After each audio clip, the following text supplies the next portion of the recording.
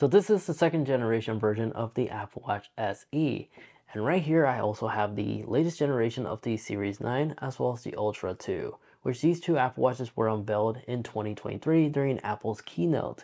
Meanwhile, the second generation SE was unveiled in 2022. So just because this is an older model, you'll be surprised how capable this Apple Watch is, as it shares literally almost 70% of the Ultra as well as the Series 9 features, all at a much more affordable price tag. And the big differences between the latest generation's Apple Watches comparing it against the Series 8 or an Ultra first generation is primarily a faster processor, a brighter display, double tap gesture capability, as well as double the storage capacity as these two Apple Watches have about 64 gigabytes of internal storage. Meanwhile, the SE still has the previous 32 gigabytes of storage. This is all thanks to the latest S9 chipset. So in this video, I'm making a buyer's guide between these three latest Apple Watches to help you decide which one truly is the right one for you.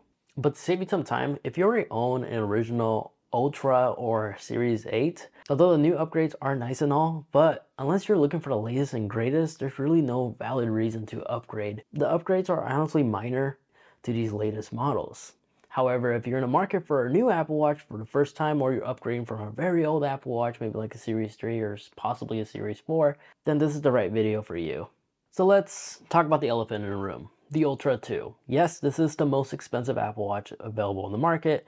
It also features the largest display on any smartwatch that Apple has ever produced. 49 millimeter to be exact. Only comes in one size, but LTE is standard. And yes, even though the Ultra 2 is almost twice the cost of the Series 9, it doesn't really mean it's gonna have twice the features. You see, both of these two Apple Watches, including the SE2, have very similar features that you'll expect to find in the Ultra 2. In fact, the Series 9 has about 95% of those features, and then the SE2 has, shares about 75% of those features. And spoilers, they are all really loaded as all have the Apple ecosystem capability. Hand-off mode works on all these three Apple Watches. You have access to Google Maps which supports offline modes on all these three Apple Watches. You have compass tracking capability with backtracking, Apple Pay, and then in terms of the workout feature functions, they all share the same exact workout library. You even have the capability to customize them on all three of these, including the SE2. Yes, you heard me right. The SE2 has the same fitness tracking abilities as the most expensive Ultra 2. So generally, between these three Apple Watches, it just comes down to durability, wearability, and battery life. So real quick before we continue with the rest of the video, if you do find this information informative and helpful, hit that like button. It really does help out a lot, as well as you can subscribe while you're down there. But let's talk about what's the same between these three Apple Watches in depth. Well, in terms of apps, they all have the same apps, just the Ultra 2 does have the depth sensor capability. So if you're a scuba diver or somebody who, who's just into swimming in general as an enthusiast, you may find the depth sensor that's built into the Apple Watch Ultra to come on automatically helpful because when it comes to its water resistant, the Ultra 2 does have a higher water resistant rating compared to the SE2 as well as the Series 9 as they're the only two rated at 50 meters versus the Ultra is 100 meters. And in terms of body, Ultra 2 is the only one that comes available in one color option and titanium is the standard. Meanwhile, the SE2 only comes available in aluminum, but the Series 9 can be purchased in both aluminum as well as stainless steel. And stainless steel can be much more durable than the aluminum body. However, the stainless steel can cost the same as the Ultra 2. But you have more color choices to choose from with the SE2 as well as the Series 9. And in terms of screen brightnesses, the most brightest of the three is the Ultra 2 as it can go up to 3000 nits. But for my real world experience, I usually tend to lower the brightness down all the way to the last bar because sometimes it's just too bright. Meanwhile, the Series 9 can go up to 2000 nits, which is the same brightness that was first introduced to us last generation with the Ultra. The first generation Ultra was able was the first Apple Watch that could go up to 2000 nits, and the fact that the Series 9 has this is amazing because no matter where I'm at, outdoors in direct sunlight, I never once had to actually cover my display to see what my Apple Watch was displaying. Meanwhile, the SE2 is still on the 1000 nits brightness, but still works extremely well. But again, all three of these Apple Watches for general outdoor use are bright enough. But if you find yourself always wearing sunglasses outdoors in direct sunlight, maybe you will benefit off the 3000 nit max peak that the Ultra 2 was able to deliver. And more key differences between these three Apple Watches is that the SE does not feature an always on display, but you may find this unnecessary, especially since I personally know a couple S series 5 or newer Apple Watch owners or even Ultra owners that will typically turn off the always on display. They just find this to be too distracting. So depending on your personal preference, you may actually like the fact that the SE2 doesn't have this. But the Ultra 2 and the Series 9, to those that do want to know, they both have the always on display and it's also pretty bright. Now in terms of battery life, if you want an Apple Watch that can last longer than a single day, then without a doubt, I will highly recommend the Ultra 2. Even though it's much more expensive, that battery life differences is another key selling point to the Ultra 2 as it can easily last longer than 3 days. 36 hours under a single charge is what Apple's recommending. Low power mode up to 76 hours on the Ultra 2. Meanwhile, the SE as well as the Series 9 Apple Watches, these two are rated to be able to last about 18 hours under a single charge and they both feature the low power mode which allows these two Apple Watches to actually last longer about 36 hours is what Apple is rating. Now, new features that was added on the Ultra 2 as well as the Series 9. Siri Offline is now available in part of the new upgraded S9 chipset that these two Apple Watches have, which allows you to not have a reliable internet connection and do the request that you ask it to. I find this typically helpful, especially when I'm running outdoors and I have terrible reception or I just don't have my phone on me and I'm just utilizing GPS strictly. Siri was able to always start my outdoor workouts and give me general information. So depending on where you live around the world, if you have always a strong reception, this isn't much of an issue. And also if you're an individual that doesn't rely on Siri a lot, you may also just not find this useful. I'm in both ways. I typically prefer just doing things manually and not having Siri involved if you would ask me. In terms of the double tap gesture, the Series 9, the Ultra 2 are the two Apple Watches that have this capability. And I would typically rarely use this. I'll find myself mainly using this whenever I set like a timer on my wrist and I just want to quickly dismiss it, especially in situations when I actually have my hands full. But there's a clever workaround where you can actually enable this on an Apple Watch that doesn't have this by enabling the assistive touch. If you'd like to know more how I was able to do this, I'll reference this video watch later. The capability to answer phone calls, dismiss alarms, pause and play your music. You'll find that older Apple Watches have this capability, so this is not much of a selling point if you absolutely need this. So yes, in a way you can enable this in the Apple Watch SE second generation as well. Now, depending on your lifestyle, you may find the ECG capability to be useful, as both the Ultra 2 as well as the Series 9 both have this capability. The only feature that they lost is again the blood oxygen sensor. But if you purchase an older Apple Watch or the retail store you're buying it from still had an older Apple Watch, that's the latest Series 9 or Ultra 2, they just haven't received the new inventory from Apple just yet, you can verify if you look at the part number. If the part number ends with LWA, that means it has the blood oxygen sensor feature removed until future updates as soon as Apple resolve the patent problem. But when it comes to overall performance, you'll find that the S9 is slightly slower than the S9 chipset that's found on the Ultra 2 as well as the Series 9. But if you have one of the new iPhone 15s that shares the new W2 chip, You'll find that the Series 9 as well as the Ultra 2 are the only ones that have this Find My iPhone capability where very similar to AirTags, they will actually show you in real time how close you are from your iPhone. So in other words, the SE2 does not have this ability. You'll have to stick with your standard pin to find your device, which isn't really much of a big deal. But now let's talk about size. This is where everything is just different. The SE2 can be purchased in the smallest size possible, 44 millimeter, but you can also settle with the larger version for the SE2, and that is the 44 millimeter. Meanwhile, the Series 9 can be purchased in a slightly larger, small screen size, as it's available in both a 41 millimeter as well as a 45 millimeter. But if you absolutely need a larger display, the Ultra 2 has the largest display. And the main advantage to this is if you have a smaller wrist, I will recommend going with a smaller Apple Watch as this will be the most comfortable option for you. But in terms of screen real estate, the only main advantage here is you're able to fit more text on the screen, especially when viewing text messages. So depending on your budget, because the price also varies depending on the size you select, the main advantage I see here is just readability. And for thickness, the Ultra 2 is the tallest one out of the three.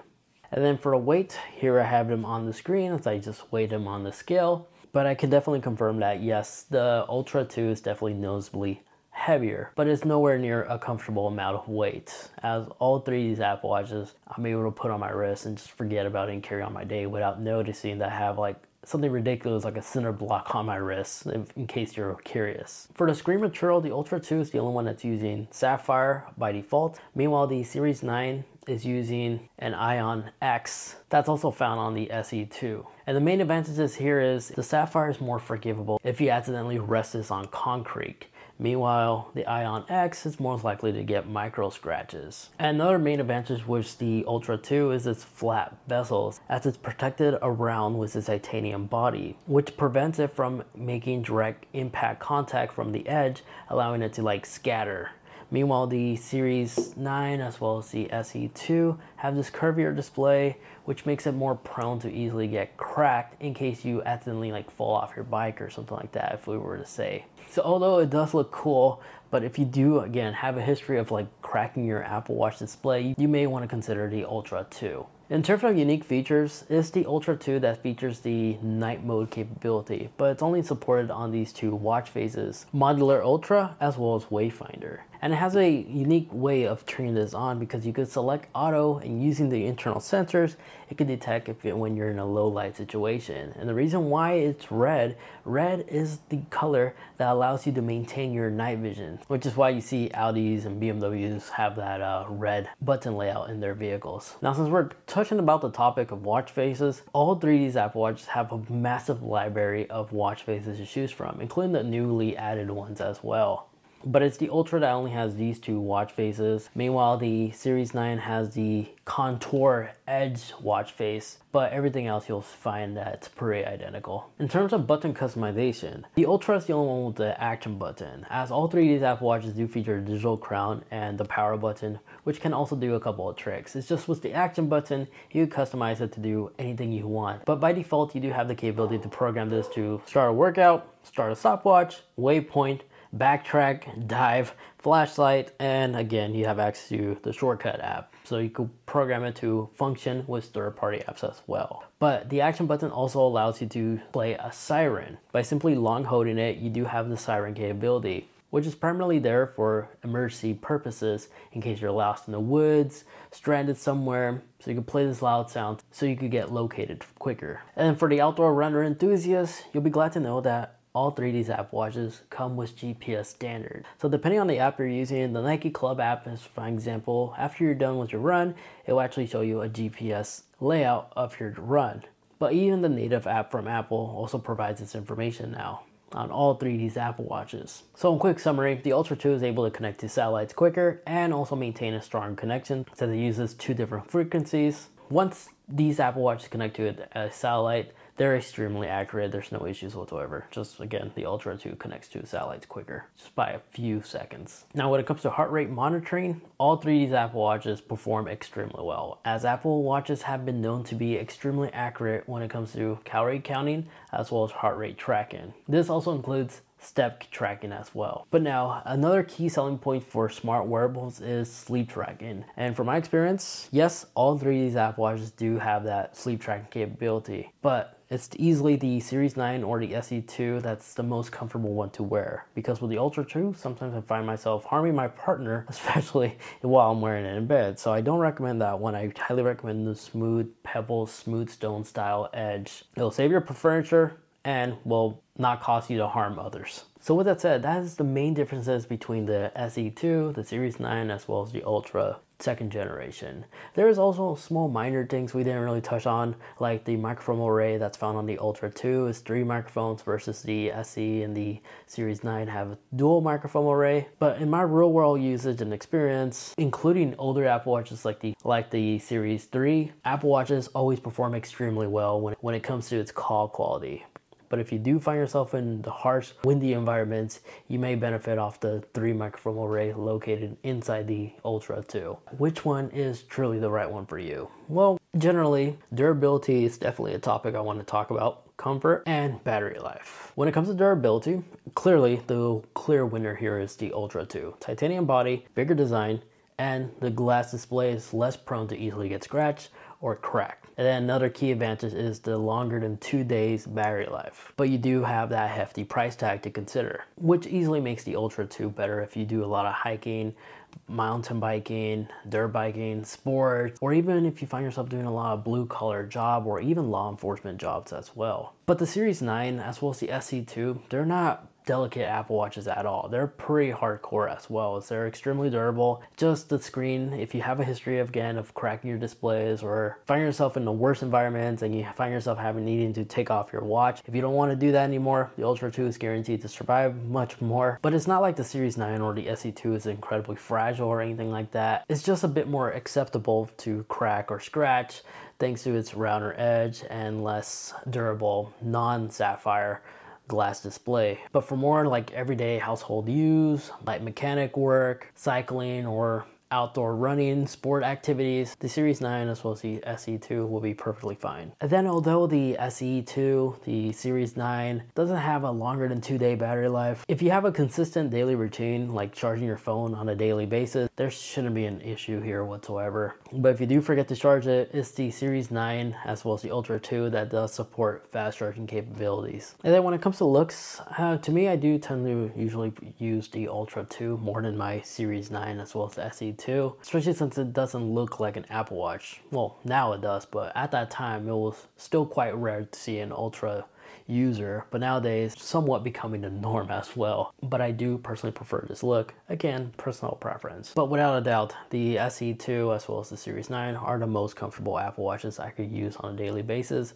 as well as sleep track with. So it's honestly just a toss up. If you don't care about all the other GPS tracking abilities, ECG. You just want a smartwatch that will share with you your notifications, download third-party apps. And yes, even though it doesn't have a keyboard, you could download a keyboard in the App Store so you can message people without verbally using dictation or scribbles to reply to your messages. So the SE2 is honestly more than enough for the everyday user, especially if you're also a fitness freak, as it does everything extremely well, like these two other Apple Watches, and also shares its safety features like crash detection, fall detection. The SE2 is still my recommendation for the best value Apple Watch that's available on the market. The SE2 is right down in the middle, literally. Main advantages is you have the always on display, ECG, slightly bigger display without sacrificing comfort and everything else in a much more modern design. The Ultra 2 is honestly the most durable Apple Watch that ever exists with an extremely good battery life and doesn't look that bad. But even though this is the most expensive Apple Watch, LTE is indeed standard.